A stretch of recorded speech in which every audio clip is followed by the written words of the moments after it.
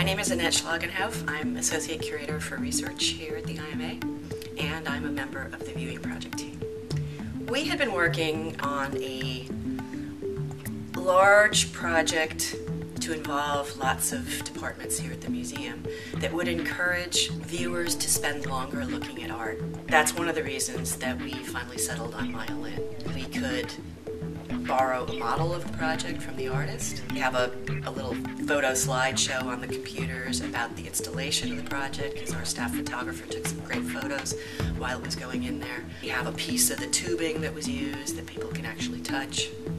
So we had a number of informational aspects that we could present. And then we had to design a handy little map to try and help people get to project. So we took photos of various spots on their way there, and with directionals, hopefully, we'll make it a little easier for people to actually find the piece, which resides one floor above the Davis Lab on the um, third floor Asian Galleries. And that's a nice confluence with the Mary Miss White River Project and the Art and Nature Park. So it's a combination then of art and nature.